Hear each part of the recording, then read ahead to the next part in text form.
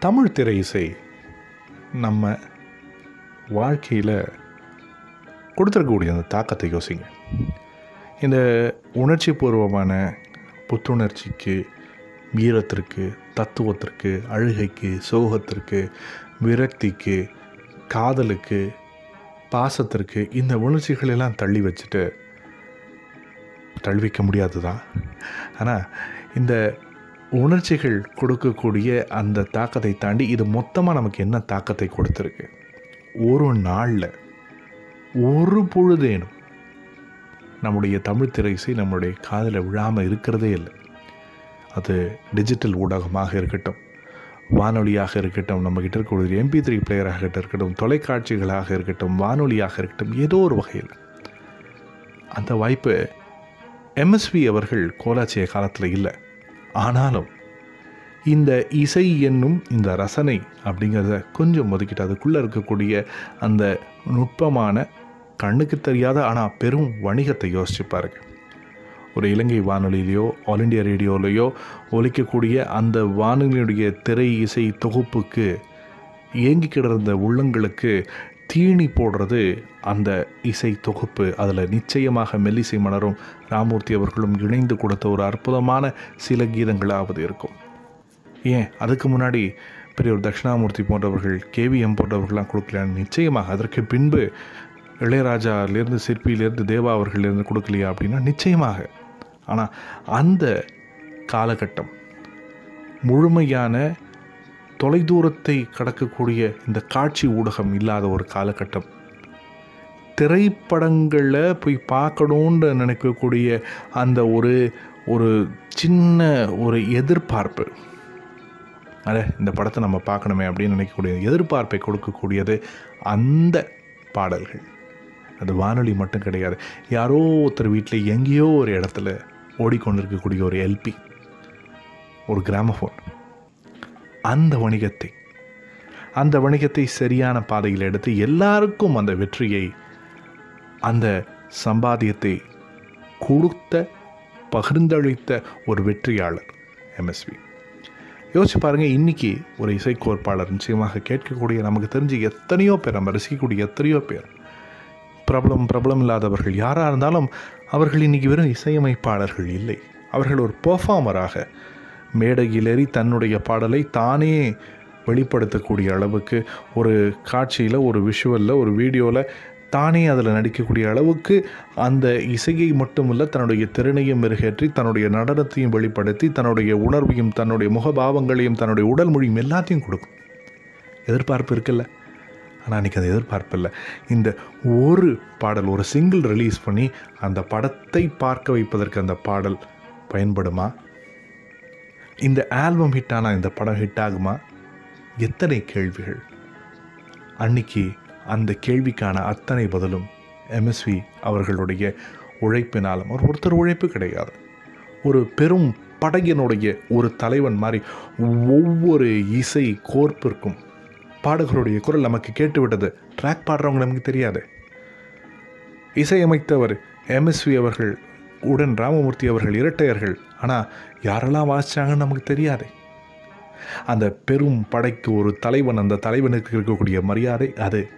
மெல்லிசை மன்னருக்கு போய் சேரும் முப்பது பேர் நாற்பது பேர் ஒரு பக்கம் செல்லோ ஒரு பக்கம் பாங்கோ ஒரு பக்கம் வீணை. எத்தனை இசைக்கருவிகள்? ஒரு பெரிய ஸ்டுடியோவை பார்த்த அது இருந்த சூழலில் வேலை சேர்ந்த ஒரு வாய்ப்பு கிடைத்ததுனால இதை நான் சொல்லக்கூடிய இந்த பொழுதில் உணர்ந்து சொல்கின்றேன். திரை இசை என்பது நம்ம நினைக்கிற மாதிரி ஒரு ரசனை மட்டும் கிடையாது. அது ஒரு பெரும் வணிகம். யோசிச்சு பாருங்கள் இளையராஜா அவர்களுடைய பாடலை இன்னைக்கு நீங்கள் கேட்கணுன்னா எந்த ஒரு ஊடகத்தின் மூலமாக கேட்டாலும் ஏதோ ஒரு வகையில் அதனுடைய வணிக பயன் ராஜா கேசட்ஸுக்கு போய் சேரணும். ஏஆர் ரஹ்மானவருடைய திரைப்பாடல்கள் திரைப்பாடல்களை கேட்கணும் நீங்கள் நினச்சிங்கன்னா அதாவது அவருடைய தனிப்பட்ட முயற்சிகள் வேறு வழியில் இருந்தாலும் திரைப்பாடல்களை கேட்கணும்னா அன்றைக்கி ஒரு அலையோசி அதுக்கப்புறம் ஒரு பிரமிட். அன்றைக்கி அடுத்த காலத்தில் ஒரு சோனி. இவர்களுக்கு அந்த வணிகம் போய் சேரணும். அதிலிருந்து இவர்களுக்கான வணிகம் சேரணும். எம்எஸ்பியோட காலம் அப்படி கிடையாது. இந்த எதிர்பார்ப்பு இந்த உழைப்பு அத்தனையும் ஆம் நிச்சயமாக ஊதியத்திற்காக. ஆனால் அந்த ஊதியம் தனக்கு மட்டுமே வந்ததில்லை. தன தன்னை நோக்கி வந்த அத்தனை இசை கலைஞர்களுக்கும் அவர் கொடுத்த அந்த மரியாதை அந்த பணிவு இசைக்கு கொடுக்கக்கூடிய மரியாதை என்பது இசையை தொடர்ந்து பயிற்சி எடுத்து அதை வெளிப்படுத்தி பரிமளிக்கக்கூடிய அந்த இசைக்கலைஞர்கள் சொல்லுவாங்கள்ல இறைவனை தொழுவதோட அடியார்களுக்கு அளிக்கக்கூடிய அற்புதமான அந்த சேவைங்கிறது மிகப்பெரியது. அந்த மாதிரி இசை கலைஞர்களுக்கு அவர் கொடுத்த அந்த மரியாதை. அந்த மரியாதை ஒன்றல்ல ரெண்டு இல்லைங்க ஒரு மொழி இல்லைங்க ரெண்டு மொழி இல்லைங்க ஆயிரத்தி தொள்ளாயிரத்தி ஐம்பத்தி ரெண்டில் ஆரம்பித்த அந்த ஒரு கோலாச்சின அந்த ஒரு பீக் அந்த ஒரு உச்சம் ஆயிரத்தி தொள்ளாயிரத்தி எண்பதுனுடைய இறுதி வரைக்கும். அப்படி தான் நானும் நினச்சிருந்தேன். தமிழ் ஆமாம் தமிழ். அடடே மலையாளம் அடடா மலையாளம். தெலுங்கு ஆமாம் தெலுங்கு. கன்னடம் ஆமாம் கன்னடம். ஆ ஹிந்தி ஆமாம் ஹிந்தி. இத்தனை காலம் உச்சத்தில் இருந்த ஒரு இசைக்கோட்பாளர் இருந்திருப்பாரான்றது மிக பெரும் சந்தேகம். அதை எம்எஸ்வி அவர்கள் செய்து காட்டினார். செய்து காட்டி மற்றவர்களுக்கும் ஒரு உதாரணமாக அடுத்த தலைமுறைக்கான ஒரு வழிகாட்டியாக இருந்தார் சமீபத்தில் ரொம்ப சமீபத்தில் ஒரு ஒரு எட்டு மாதங்களுக்கு முன்பு திடீர்னு ஒரு தொகுப்பில் சரி கேட்காத பாடல்களை ஒளிபரப்போம் தேடி தேடி தேடி எடுக்கிறேன். ஒரு விஸ்வ துளசியின் இளையராஜா உடன் எம்எஸ்வி அப்படின்னு ரெண்டு பேருடைய இசைக்கோர்ப்பும் காடு. சரி என்னன்னு தேடுவோமேன்னு ஒரு பாடல் திரு எஸ்பிபி அவர்களோட குரலில் அப்படியே ஒரு பாடல் வருகின்றது.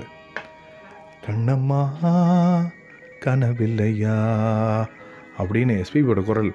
அது தொட முடியாத குரல். அந்த கோர்ப்புக்கு நானாக ஒரு ஒரு பொருட்டே கிடையாது. அந்த குரல் அந்த ஒலியை கேட்டதுன்னு ஒரு ஆர்வம். தேடுறேன் தேடுறேன் தேடுறேன். அதனுடைய இசை கோர்ப்பு எம்எஸ்வி அவர்கள். அந்த திரைப்படத்திற்கான பின்னணி இசை இளையராஜா அவர்களுடையது. இன்றைக்கி சொல்கிறோமே ஒரு ஆல்பம் க்ரியேட் பண்ணுறாங்கன்னு அந்த விஸ்வ துளசி திரைப்படத்தை பற்றி சரி என்னன்னு தெரிஞ்சுக்கலாமே இன்னும் தேட போனால் முழுமையான ஒரு இசை ஆல்பம் பத்தொன்பது பாடல்கள் கொண்ட ஒரு இசை தொகுப்பு அந்த விஸ்வ துளசியினுடைய அந்த மூலம்.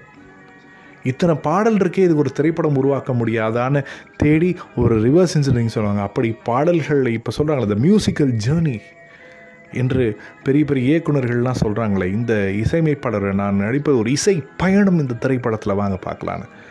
உண்மையாகவே ஒரு இசை பயணத்தை ஒரு திரைப்படமாக மாற்றியிருக்கின்றன அந்த பாடலை நிச்சயமாக கேளுங்க. அதற்கு அப்புறம் எப்படி சந்தர்ப்பம் கிடைத்தாலும் மெலடி எந்த நேரத்தில் போடுறதுக்கான ஒரு வாய்ப்பு கிடைத்தாலும் இல்லை எந்த நேரத்தில் சோக பாடல் மார்னிங் டைம்ஸ்னு எங்களுக்கு ஆல்ரெடி ரேடியோவில் உண்டு.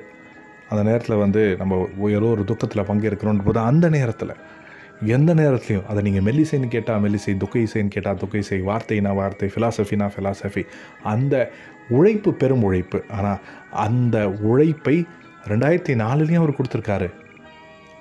எவ்வளோ பெரிய விஷயம்.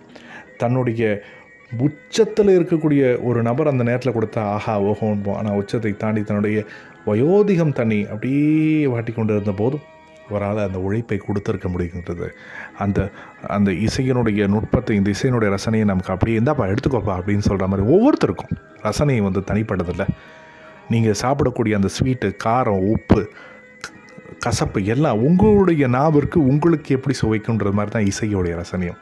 அதை காலாகாலத்திற்கும் நமக்கு கொடுத்த அந்த எம்எஸ்வி அவர்கள் தான். மெல்லிசை மன்னர். நீ சொந்த காலிலே நில்லு. தலை சுற்றும் பூமியை வெல்லு. இது அப்பன் சொல்லிய சொல்லு. மகனே